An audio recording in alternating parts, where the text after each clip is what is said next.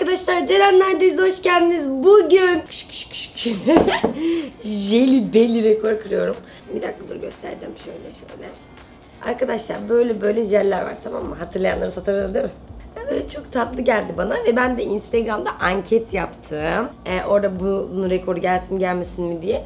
Bayağı bir %87'lik oranla falan gelsin çıktı. Ben de hemen sipariş ettim ve şimdi rekorumu kırıyorum arkadaşlar. Eğer sizi sipariş etmek isterseniz bu arada 185 adetlik paketinden aldım ben. 185'lik var, 75'lik var, 50'lik var. Bunların hepsini aşağıya linki bırakıyorum. Oradan satın alabilirsiniz. Ee, onun dışında da şimdi başlıyorum. Tamam mı? Gene süreli bir rekor olacak. Benim önümde 185 tane yok. 180 tane var arkadaşlar. Çünkü 5 tanesi gelmiş. Bir önce bir tanesinin tadına bakıp söylemek istiyorum. Süreyi başlatmadım. Tamam lütfen. Çeksin bakalım.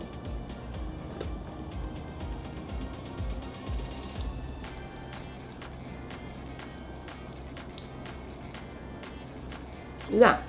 Burada bir tanesi 6 kaloriymiş. Bir tanesi. Arkadaşlar bu arada ben ne istiyordum biliyor musunuz? Buraya dizip işte pekmen gibi yemek istiyordum. Ondan sonra Ali dedi ki öyle hani hoş bir görüntü olmaz falan dedi. İşte biz de böyle doldurduk avuçlayarak ye dedi. Avuçlayarak yemek hoş bir görüntü peki? Hadi bakalım başlayalım.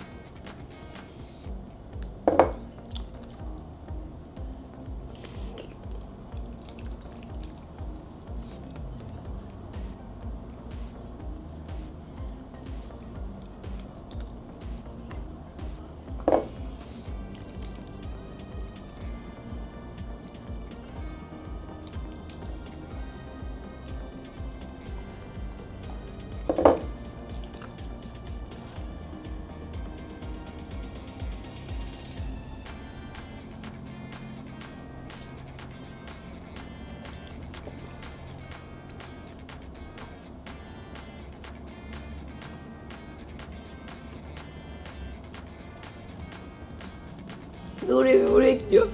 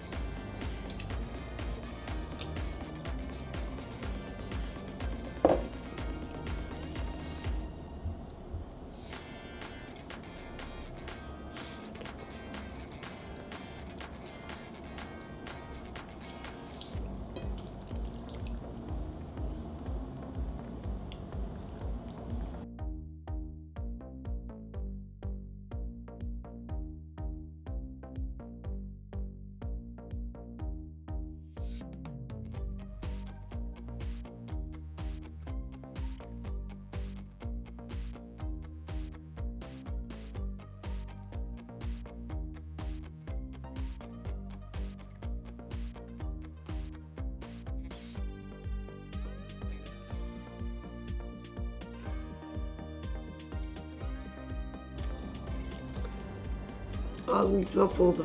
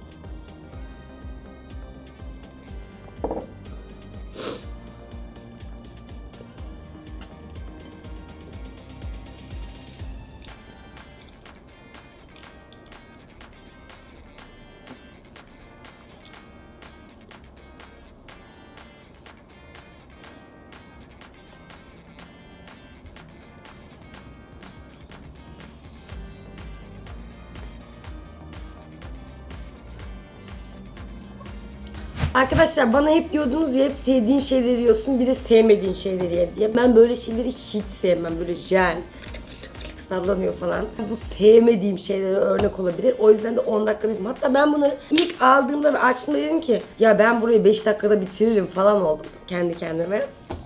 Ama ben onları tek tek yutarım gibi düşünüyordum. Tek tek yutamadım arkadaşlar. Onları parçalı halde yutmak istesem bile midem çok bulandı. Yani bu jelde eğer yiyenler varsa bana hak veriyordur şu anda. O yüzden zorluk puanı doluluk açısından çok az veririm. Çünkü öyle midemin çoğu dolmadı. Ya zorlanma açısından şu şekilde ağzımın içinde sürekli bir şey hareket ediyor ve de midem çok bulandı bir ara fark ettiyseniz. 10 üzerinden 9 verebilirim. Burada size bir şey göstereceğim bir dakika. Arkadaşlar kendime çok tatlı bir şey aldım bakın. Tokumama yerim yazıyor üzerinde. Bunun da bakın. Tokumama yerim. 14 lira gibi bir fiyata aldım. Aşağıya bunun da linkini bırakıyorum arkadaşlar. Bu tokumama yerimin kaseleri var. Ondan sonra böyle yastığı falan var. Kedili tokumama yerim falan var. Çok güzel modeller var. E, sadece bu model değil başka bir sürü kupa ve bardak çeşidi de e, koydum o linke. Cidden çok orijinal şeyler yaptım. Fiyatı da uygun geldiği için sizinle paylaşmak istedim. Bunu bu şekilde söylüyorum. İzlediğiniz için çok teşekkür ediyorum. Bu kız bu sevmediği jellerden 180 tane yedi bir beğeniyi hak etti derseniz videoyu beğenmeyi unutmayın arkadaşlar. Ayrıca da aşağıdaki abone ol butonunu griye çevirmekte sizlerinizde. Sizleri seviyorum. İzlediğiniz için çok teşekkür ediyorum. Herkese iyi günler. Sevgiyle kalın. Görüşürüz. Bay bay.